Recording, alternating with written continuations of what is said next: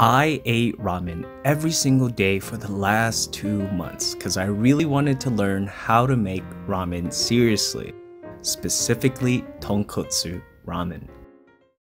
In order to get that white, thick, and creamy broth for your tonkotsu ramen, it takes time, like 8 to 12 hours kind of time. What is happening is that pork bone is being broken down and fat is being emulsified into the broth using the stove. But even before that, you have to do two things to get this white color.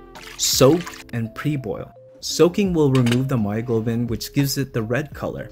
4 to 5 hours is the standard but I highly recommend soaking overnight. Yes, that is more time and then you have to pre-boil. This will extract any remaining impurities in the form of scum that affects the color of the broth and you will have to skim that off. This takes around 15 to 30 minutes or until scum stops floating to the top. And make sure you stir the pot because sometimes scum could be hiding underneath.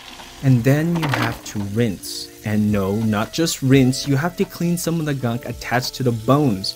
Use your fingers and rub it really well because these two steps are vital if you really want the iconic color.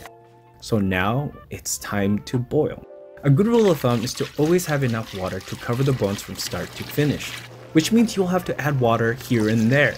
This will happen more than once because you are boiling the bones at high heat. This is known as rolling boil, where it extracts the collagen and the protein as well as emulsify the fat into the broth. And please, make sure you stir the pot periodically to prevent any bones from sticking to the bottom. And oh, don't forget to refill the water. Towards the end, like 1 or 2 hours, add your aromatics. For me, I kept it simple. Onions, cabbage, green onions, carrots. It's not mandatory, but it does add a different dimension to the broth. If you do plan to add any, clean and skin off any parts that are dirty. Note that aromatics should only be added towards the end, because any earlier would simply break it down, rendering it useless. It could also ruin the color of your broth. Just imagine, all that hard work, just ruined. By the end, the amount of broth left should be relative to how much bones you put in and the time you have boiled it for, given that you have refilled the water.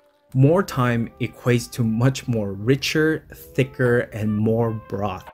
I know, this is a lot, but this, this will be worth it.